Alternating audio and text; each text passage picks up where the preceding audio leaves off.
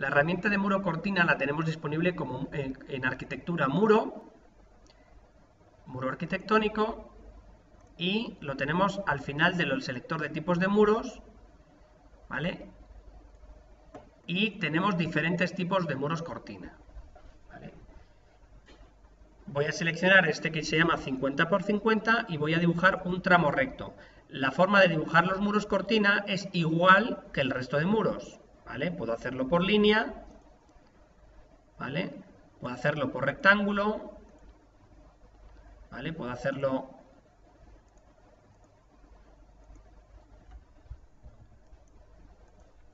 por curva, ¿vale? Lo puedo hacer de muchas maneras. Y lo que tenemos que hacer para definirlo es exactamente igual que con el resto de muro, es decir, un muro está en una planta que va hasta una altura determinada, ¿vale?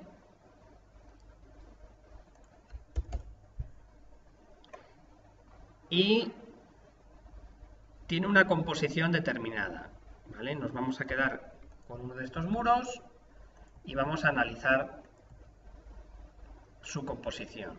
Es decir, un muro cortina tiene montantes verticales u horizontales, tiene paneles y tiene rejillas, ¿vale? ¿Qué son las rejillas? Pues las rejillas es la geometría que controla a los montantes. Es decir, un montante se crea encima de una rejilla. Un panel va hasta entre una rejilla y otra rejilla. ¿Vale? Entonces, cuando yo estoy definiendo un muro cortina, ¿vale? Lo defino igual que otros elementos, es decir, con su tipo. Edito tipo, ¿vale? Y tendré un muro cortina determinado, ¿vale? Por ejemplo, este que se llama 50 por 50 ¿vale? Debería de tener, son montantes de 50 por 50, por lo tanto, su espaciado en horizontal y en vertical no es relevante, sino que se puede modificar en función del proyecto, ¿vale? Aquí esto es lo que condiciona, ¿vale? Pero se podría haber descrito que tiene una separación en horizontal de tanto y en vertical de tanto, ¿vale?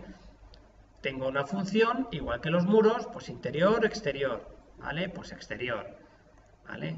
Eh, tengo unos paneles, pues el panel es de cristal de gris ahumado, ¿vale? Pero podría ser de otros tipos de paneles, ¿vale? De, color, sólido, de chapa de aluminio, de lo que sea.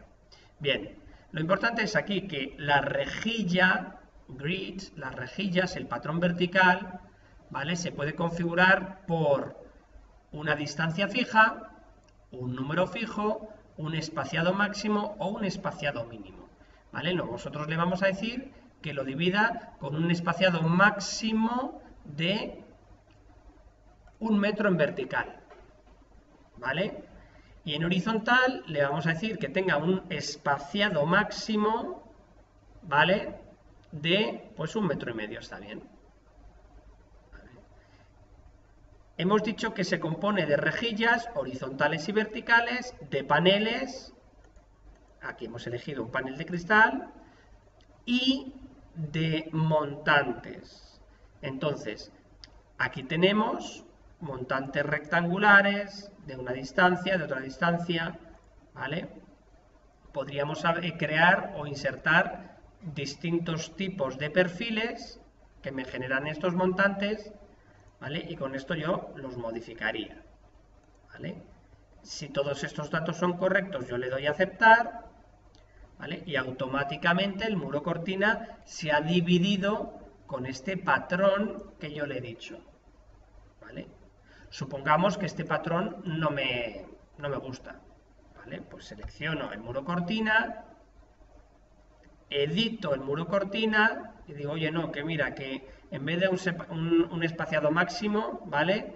Que tenga eh, divisiones, ¿vale? Un número máximo de divisiones. Estas divisiones no se la doy aquí, sino que se la doy a las propiedades de ejemplar. Aquí. Le digo que OK y me deja aquí ponerle que el número de divisiones sea, por ejemplo, 1. ¿Vale? 3. ¿Vale? si este muro cortina cambiara la altura, ¿vale? La distancia, ¿vale? El, el número de separaciones seguiría siendo 3, ¿vale? Y lo reparte. Por lo tanto, fijaros la cantidad de tiempo que se pueden ahorrar en replanteos con estos sistemas. ¿Vale? Bien. Pues además de estas características, el muro cortina tiene otra, otra capacidad. Nos vamos a ir a planta, planta baja, ¿vale? Y pues yo puedo tener aquí un muro cortina de entrada a este vestíbulo, ¿vale? Pues le voy a dibujar muro, muro cortina, ¿vale? Y vamos a seleccionar vestíbulo, ¿vale? Y yo voy a pinchar desde un extremo, ¿vale? A otro extremo, ¿vale? Y esto me ha generado, pues, un muro cortina que tendremos que ver qué altura tiene, pues desde baja, sin desfase, hasta la planta primera, ¿vale? Y esto, lógicamente, en altura se estará componiendo. ¿Vale? De la misma manera, ¿vale? yo puedo crear de aquí un muro cortina que sea la separación de mi habitación. ¿Vale? Bien, si me he equivocado aquí, yo puedo esto pinzar, estirar hasta que se pone horizontal, ¿vale? Y esto lo mismo. Estiro, ¿Vale? Bien. ¿Que me he equivocado aquí y esto debería estar más bajo? Selecciono el muro entero y lo muevo. ¿Vale? Moverlo desde este punto hasta este punto. ¿Vale? Para que me haya cogido esto. Si yo me voy a la vista de sección de planta baja, en tres dimensiones, ¿vale? Estoy viendo lo que está haciendo, ¿vale? Bien, aquí hay un pequeño desfase que no lo está haciendo bien, habría que pincharlo, ¿vale? Pinchar el muro cortina y lo modifico. Le digo que el desfase este que me lo corrija, ¿vale? Y que va hasta la planta primera, ¿vale? También podría ser que, oye, estoy mirando este muro cortina y resulta que no, que no es este, sino que realmente era este con, ¿vale? Tipo mampara pincho tipo mampara, ¿vale? Y automáticamente me lo ajusta con las divisiones, lógicamente, que se han predefinido, ¿vale? Bien, o sea, el muro puede ser interior o exterior, ¿vale? Pero además, ¿vale?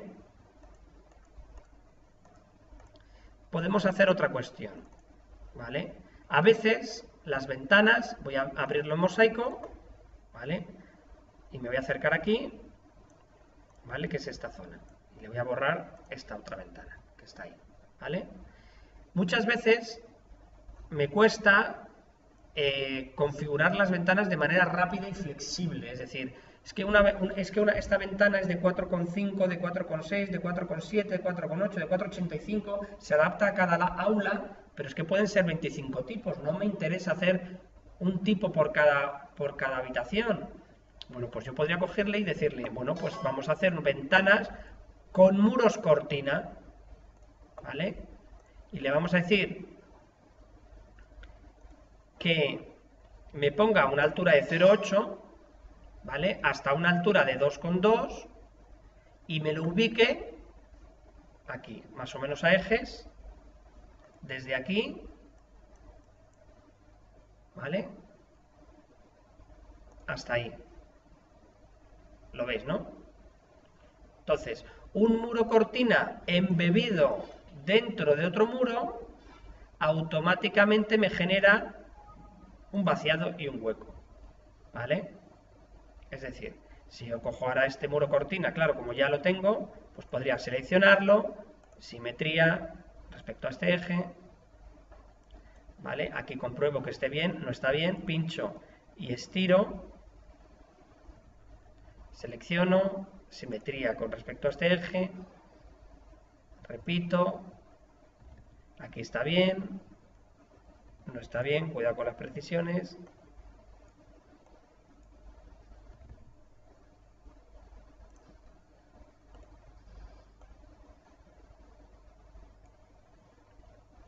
Vale, lo mismo selecciono,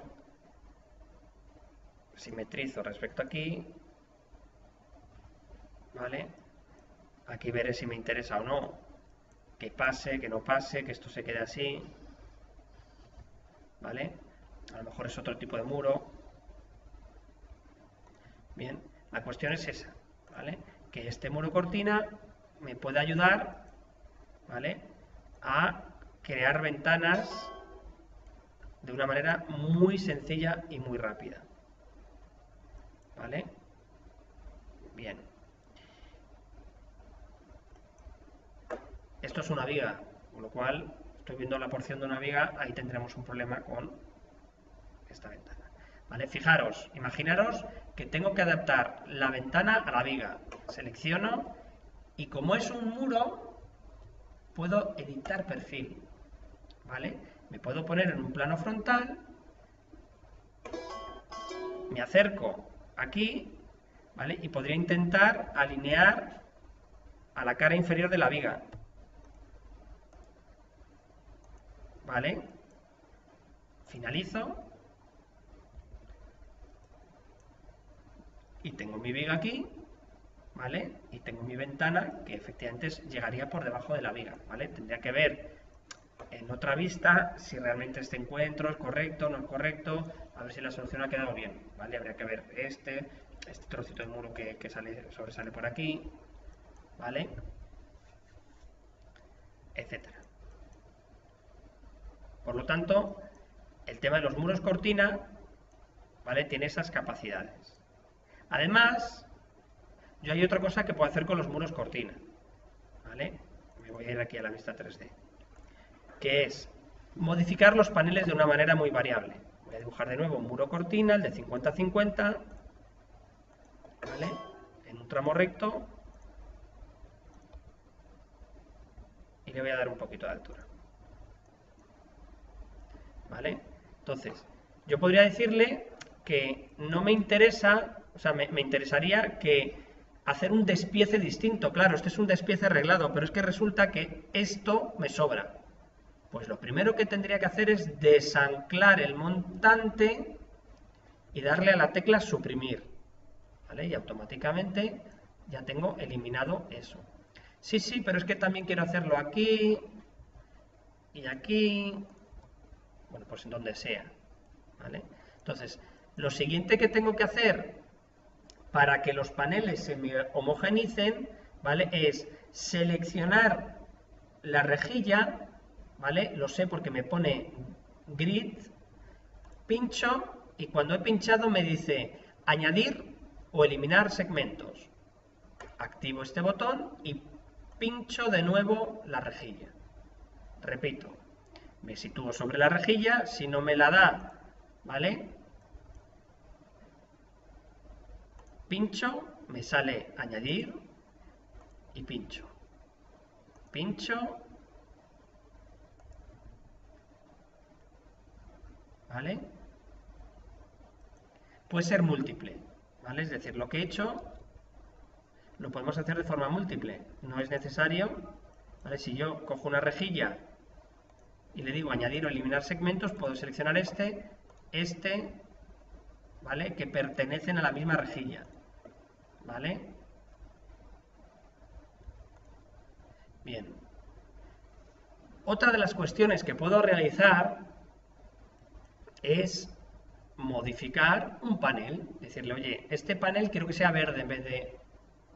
Para ello, de nuevo tengo que quitarle la chincheta y decirle que en vez de panel gris ahumado me ponga el glazed. ¿Vale? No sé si se aprecia el color. ¿Lo veis, no? Bien, pues lo mismo. ¿vale? Pero podría llegar a un límite y decir, ya, pero es que si voy uno a uno me puedo volver loco. Bueno, pues yo me cojo, lo que puedo hacer es cogerme el panel, ¿vale? Y... Eh, un segundito. Aislar categorías, ¿vale? Aíslo categoría y me ha aislado todos los paneles. De tal manera que lo que podría hacer es seleccionar todos los que quiero modificar, quitarles la chincheta, ¿vale? Y entonces ya podría coger y decirles, oye, este, este, este y este me los pones este. ¿Vale? Y estos dos, estos tres, estos cuatro me los pones no sé cuál. ¿Vale? Y es mucho más fácil. También tengo la herramienta igualar propiedades. MA, Match Properties.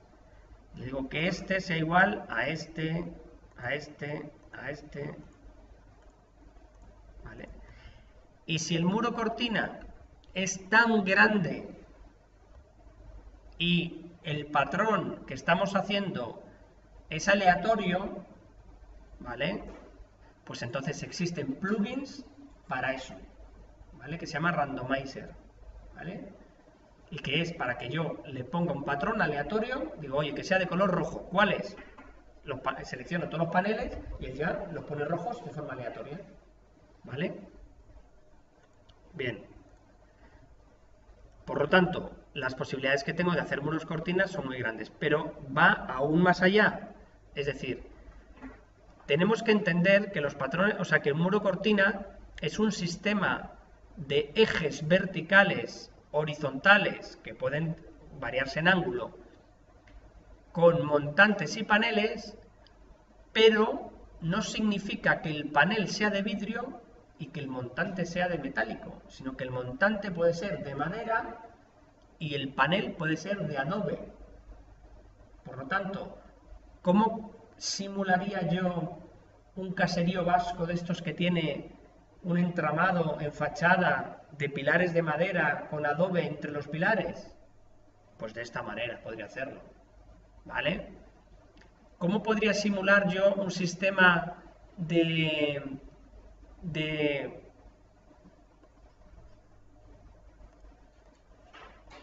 un segundito.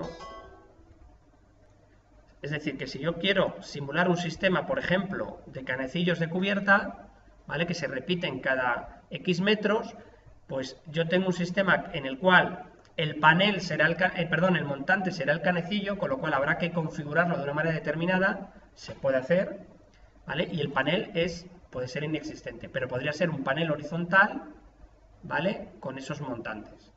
O sea que se podría, el sistema de monocortina es, digamos, un sistema muy, muy versátil.